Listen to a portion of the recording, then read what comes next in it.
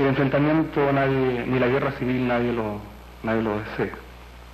Es una circunstancia tremendamente dramática que los pueblos vivan una experiencia de guerra civil.